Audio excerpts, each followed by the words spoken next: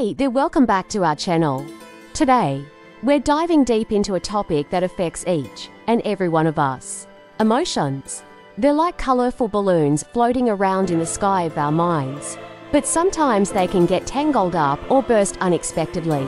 So let's learn how to understand and manage them effectively, shall we? 1.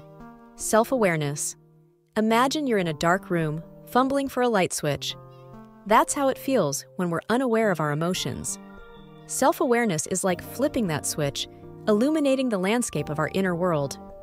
Take a moment to pause and ask yourself What am I feeling right now? Is it joy, sadness, anger, or perhaps a blend of emotions? By acknowledging our feelings without judgment, we take the first step towards emotional mastery. Emotions are like the weather of our inner world. They come and go sometimes sunny and clear, other times stormy and turbulent. But here's the thing understanding our emotions is the first step towards managing them effectively. 2. Mindfulness. Now, let's talk about mindfulness, the art of being present in the moment. It's easy to get swept away by the currents of our thoughts and emotions, but mindfulness is like dropping anchor in the storm. Through practices like meditation, deep breathing, and body scans, we cultivate a sense of inner calm amidst the chaos. By observing our thoughts and feelings with curiosity rather than criticism, we create space for self reflection and self discovery. 3. Coping strategies. Life is like a roller coaster, full of ups and downs, twists and turns. Coping strategies are the safety harness that keeps us secure on this wild ride. Whether it's journaling, talking to a trusted friend, or engaging in creative expression, find what helps you navigate the peaks and valleys of your emotions. Remember, there's no one size fits all approach, so experiment with different techniques until you find what resonates with you. 4. Self compassion.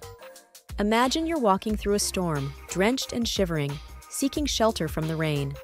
Self compassion is the warm embrace that welcomes you home it's about treating yourself with the same kindness and understanding that you would offer to a dear friend. Instead of berating yourself for feeling a certain way, practice self compassionate self talk. Say to yourself, It's okay to feel this way. I'm only human, and I'm doing the best I can. 5.